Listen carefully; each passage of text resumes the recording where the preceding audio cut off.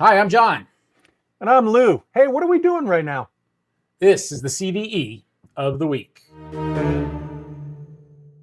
It's Friday, July 18th, and this is the IT SPARC Cast CVE of the week, where we pick a common vulnerability and exposure entry that you need to know about and how to mitigate ASAP. Now, we've got an interesting one today, especially if you're running some older SonicWall gear. So, the SonicWall SMA 100 series of firewalls have a backdoor explo- uh, exploitation. And while there's no CVE explicitly noted, we do believe, based on some, some Google research, that there are some known vulnerabilities attached to it, and they may have been leading to this. So I will list those off. These are some older vulnerabilities that um, that have been patched, but they still lead to this. So those are our CVE 2021 20038, CVE 2024 38475, CVE 2021 20035, CVE 2021 20039, and CVE 2025 32819. So what's happening? being- well, what's going on with this right now? Some of these are pretty old. What's happening? So some of these are pretty old, but uh, hackers are actively exploiting fully patched SonicWall 100 firewall, SM, SMA 100 firewalls using stolen one-time passwords. One-time talked- passwords again? Yeah, so we talked about this earlier uh, in the week when we when it came to Ruckus. So these are one-time password seeds, and they're using stealthy backdoor uh, tools called OVERSTEP. So this malware, which was reported out on the 16th of this uh, this month, so July 16th, 2025, if you're watching this a little bit in the future, to rewrite boot scripts, hide logs, and steal credentials, and then persist through reboots. No specific vulnerability patch exists at this time. They're leveraging uh, the stolen credentials and using novel backdoor techniques. So what So- does SonicWall say we need to do? so most of the SMA 100 devices are end of sale. Now, end of sale typically does not mean end of support. Usually, a manufacturer will give a year or two or more of support, meaning we'll give you some sort of security patches for some period of time after a device goes end of sale. So some of these devices have been end of sale for a while, but some just went end of sale within the last few weeks. So there's still Sonic under advice is upgrade to the newest hardware. So buy, buy so buy the newest hardware. Uh, you can go to their website uh, right now and you can look at uh, what they're saying, and that that's their current response. And it, it's not a great response. At least they are responding, but they're saying that they'll they'll be reaching out to customers over the next few weeks, and Yeah, they will so be try not to get hacked. try not to get hacked right now. You know, like yeah. Uh, so I don't know.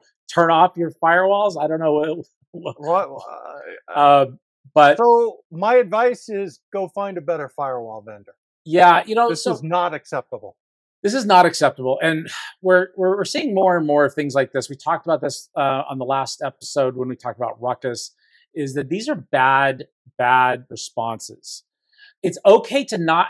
I mean, it's not okay to not have a fix, but it's understandable to not have a fix immediately if you get surprised by this. But your, if your response is upgrade your hardware to the newest piece, first of all, that's not a fast fix. That's not something I can, you know, I, I can have, if I have, what do I have a hundred of these? I can't deploy a hundred new pieces of hardware and get them configured and tested and, de- and deployed overnight.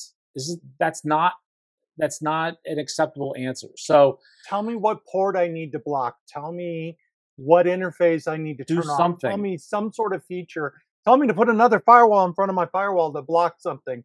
Fix the problem now, upsell later. A- Absolutely. And and as somebody that's spent money with them, you need to be demanding this. And you need to be pounding your fist on the desk and screaming at them.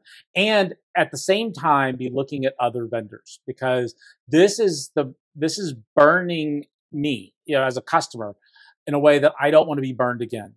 And they if they're not if they're giving you a runaround in an issue like this, what's the next time they're going to give you a runaround? Now, that being said, I want to hear from you. Are you getting a better answer than what I'm hearing? Are you getting SonicWall saying, no, no, we've got to we've got to work around for you. You got this, you got this. Please tell us. Yeah, Uh, and when I like get to the feedback- team you've talked to that Right. gave you a different story, we'd like to get the real story out there. We did a lot of digging on this, And if, if I do get that kind of feedback from somebody that, yes, your count team is giving you that, I will immediately turn around a short video and I'll po- post it immediately as soon as I get that and put that up on our channel because I don't want to be passing uh, misinformation. As far as I can tell, that's not happening at this point. But speaking of feedback, we are going to wrap this episode. And we did have a listener to the show, Mike, who's been listening to us for a while. He sent us some email regarding the Ruckus CommScope fiasco that we talked about earlier in the week. Yes. And he did mention that that Ruckus and CommScope finally did actually respond to some degree because we had said that at the time of our recording they had not responded. But Nothing. as we were going to air, they actually did post a security bulletin on their website. So we had an overlap there where they did respond as we were posting our video. But that I- security update? What I'm going to read it directly, and I'll, I'll I'll put it up on the the screen at the same time. The security vulnerability uh, just basically says it's been reported uh, by CC Cert that Ruckus SmartZone Controller and Ruckus Network Director contains a number of critical vulnerabilities. If exploited, these vulnerabilities may allow remote unauthorized attackers to gain shell access to the affected devices. Ruckus is actively investigating in order to validate the report, and we will provide updates with new information becomes available. Uh, we would like to recognize and thank uh, the people that found the issue, and that's it. So Can I there's still translate that? uh, he's like, "Oops." Is Hi, that you're screwed. right? You're looking into it. Have a nice So, day. so I do want to thank Mike for for providing that information to us, so that that we are clean and clear with what was communicated, and we're not saying that there was no communication, but this still isn't great communication. And if you're running Ruckus, you're still in a in a tough spot. Um, but with that, uh, we'll we've done enough bashing on Ruckus for for the for the week. Uh, maybe we'll see more next week. Um, but that is going to us wrong. please prove us wrong. Uh, but we do love us wrong. feedback, and please send us yours. And we we couldn't do this episode without listeners like you and people providing us your feedback. S- please send email to feedback at itsparkcast.com at, uh, or hit us up on X uh, at itsparccast. And if it's particularly informational or helpful or entertaining, like Mike's was, we will read it out on either our News Bites episodes or on the CVE episode, depending on where it's applicable. Be sure to hit like and subscribe, turn on notifications to make sure you never miss an episode. Uh, if you're on YouTube, leave a comment down below. We also make sure that we read every piece of feedback and every comment that we get there. Uh, so, with that, we're going to turn you back to your day from the world of enterprise IT. Take care. Stay patched, stay safe, and stay frosty out there, okay? It's tough world.